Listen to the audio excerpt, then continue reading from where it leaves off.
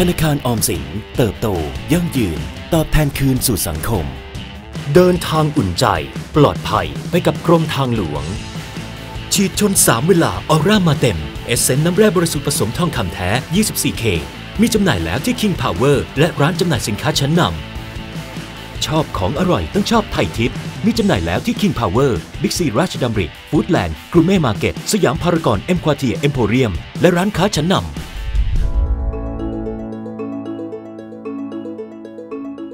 กลับมาพบกับครอบครัวเปลี่ยนโลกในช่วงสุดท้ายกันต่อนะครับ เราคงได้เห็นแล้วว่า จากความตั้งใจของพ่อไทยและแม่อ่อนที่ต้องการให้ครอบครัวได้อยู่พร้อมหน้ากัน ไม่อยากเห็นลูกต้องไปทำงานเป็นลูกจ้าง จนไม่มีเวลาได้อยู่กับครอบครัว เหมือนกับที่ตัวแม่อ่อนและพ่อไทยเคยเป็นมาก่อน ทำให้การส่งน้องอมสินไปเรียนรู้ การทำเกษตรแบบเกษตรกรรมธรรมชาติ ตามแนวทางศาสตร์พระราชา ได้เรียนรู้วิชาทักษะชีวิตแบบรอบด้าน ที่ปูทะเลมหาวิทยาลัย เป็นการตัดสินใจที่ถูกต้อง และลงตัวที่สุดสำหรับครอบครัวนี้ครับ ตลอด 4 ปีที่ผ่านมา พ่อไทยแม่อ่อนสังเกตเห็นการเปลี่ยนแปลง ในตัวออมสินยังไงบ้างครับ อย่างทุกครั้งที่ลูกกลับมาบ้าน ในตัวออมสินเองเนี่ยปกติเขาจะเป็นเด็กที่เงียบอยู่แล้วก็คือไม่ไม่ดื้อถ้าเปรียบจากที่เขาไปอยู่ที่นู่นก็คือพัฒนาการความรับผิดชอบของเขาอะค่ะ เพิ่มขึ้น คือเขาดูเป็นผู้ใหญ่ดูแลน้องในโรงเรียนได้ แล้วก็งานเวลาที่สั่งหรือว่าผู้ใหญ่ที่ที่นู่นสั่งอาจารย์ยักษ์หรือว่าใครสั่งเนี่ยงานเขาก็จะเรียบร้อยไม่ไม่ค่อยมีปัญหาค่ะ แล้วก็สิ่งหนึ่งที่ยายดีใจ แตกต่างจากตอนที่ที่ให้ไปทีแรกคือยายร้องไห้แบบ ทุกครั้งอะที่เห็นหลานมายายก็จะร้องไห้ คือเขาเลี้ยงของเขามา แล้วก็อยู่ๆเอาของเขาไปอย่างเงี้ยเขาก็ร้องไห้ แล้วพอเขาเห็นเห็นว่าแตกต่างจากเด็กที่อยู่ที่บ้าน คือเขารับผิดชอบตัวเองได้ทุกอย่าง คือเรื่องเงินเนี่ยแม่ออนไม่ได้ให้เขามาสองปีแล้ว คือเขาหาใช้ของเขาเองคือเขารับผิดชอบตัวของเขาได้สัญญากันว่าถ้าจะเป็นผู้ใหญ่ต้องหาตังค์ใช้เองผมบอกอย่างนี้อันนี้คือคือส่วนที่ที่แตกต่างจากเด็กที่อยู่ที่บ้าน แล้วก็ ออมสินเขาเป็นคนไม่ชอบเรียนวิชาการค่ะ เขาจะชอบงานช่าง แล้วก็ลงมือทำในส่วนที่ช่วยอาจารย์ ช่วยโรงเรียน ช่วยศูนย์ที่มาบเอื้องเนี่ยเขาก็จะเป็น backstage ตลอด เขาจะไม่ค่อยเห็นอยู่ข้างหน้าค่ะ เขาจะชอบออกแรง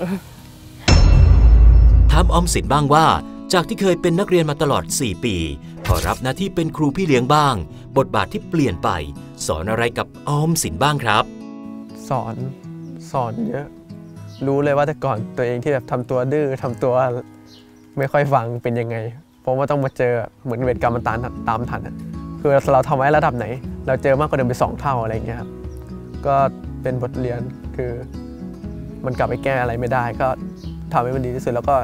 อยากให้น้องออกมาแล้วมีคุณภาพมากที่สุด ของผมใช้เหมือนกับ สิ่งไหนที่เขา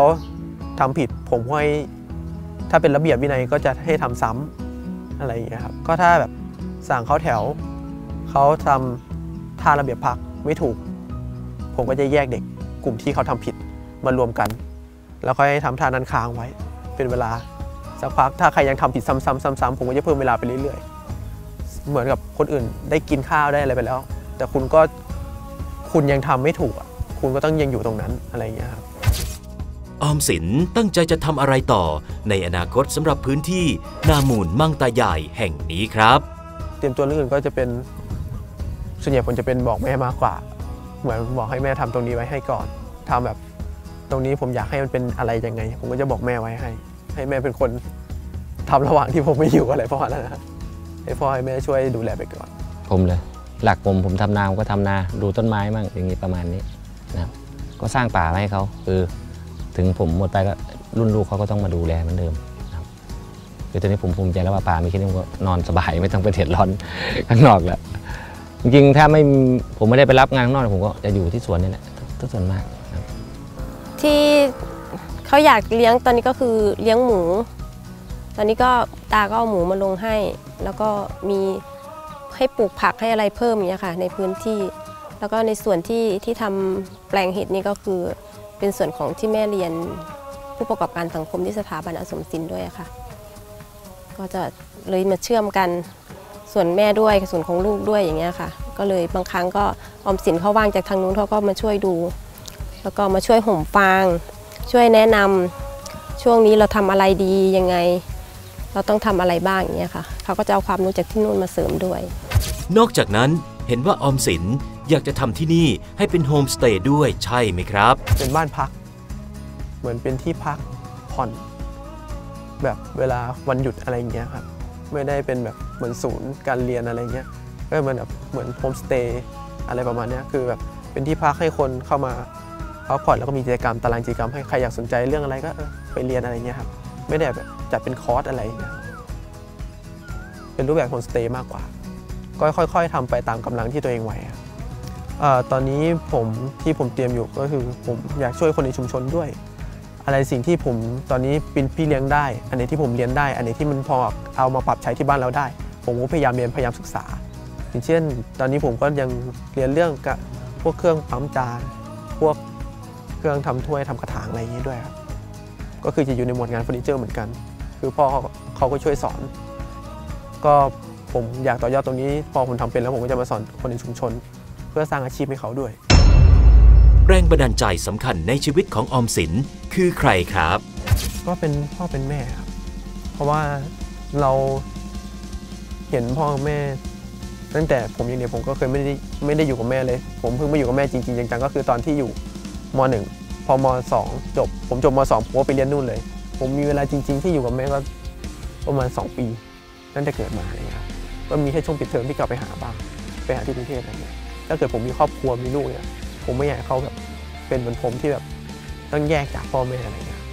สุดท้ายออมสินอยากจะเปลี่ยนโลกใบนี้ให้เป็นอย่างไร จากตัวตนและศักยภาพที่เรามี เราอาจจะเปลี่ยนความคิดใครไม่ได้ แต่ว่าผมคิดว่าสิ่งที่เราทำอยู่ มันอาจจะดึงความสนใจและทำให้คนสนใจ และสามารถทำให้เขารู้สึกมันอยู่รอดได้จริงๆครับ ถ้าอยากเปลี่ยนผมอยากให้ต้นโลกใบนี้มีสีเขียวมากกว่านี้ มากกว่าทำลายผมก็จะปลูกต้นไม้แล้วค่อยขยายความรู้ ใครที่เขาสนใจ ผมก็จะไปช่วยในพื้นที่ที่เขาสนใจ เพื่อเพิ่มพื้นที่สีเขียวครับแม้ออมสินจะเริ่มต้นสร้างพื้นที่ นามูลมังตายาย มาได้เพียงหนึ่งปี แต่เพราะครอบครัวนี้มีพ่อใหญ่ตาเป็นกำลังสำคัญในการเปลี่ยนแปลงพื้นที่ ให้เป็นโคกหนองนาอย่างสมบูรณ์ รวมถึงได้กำลังใจจากแม่ใหญ่หม่อม ที่สำคัญยังมีพ่อไทยและแม่อ่อนที่ลงมาทำเกษตรอินทรีย์ด้วยกันแบบเต็มตัวออมสินเอง ก็ได้ศึกษาหาความรู้เพิ่มเติม และเก็บประสบการณ์ เพื่อนำมาใช้กับที่นาของเขาในอนาคต เชื่อว่าในอีกไม่กี่ปี พื้นที่ตรงนี้จะอุดมสมบูรณ์และเกิดผล จนสามารถเป็นตัวอย่างความสำเร็จให้กับคนในชุมชน ได้มองเห็น และเชื่อมั่นว่า แนวทางการทำเกษตรตามศาสตร์พระราชานั้น คือคำตอบที่แท้จริง อย่างที่ครอบครัวนี้ตั้งปณิธานไว้ครับ กลับมาติดตามเรื่องราวคนเปลี่ยนโลกได้ใหม่ในรายการ คนเปลี่ยนโลกออกอากาศทุกวันจันทร์ เวลา 20นาฬิกา30 นาทีทางททบ 5 นะครับสำหรับวันนี้ สวัสดีครับ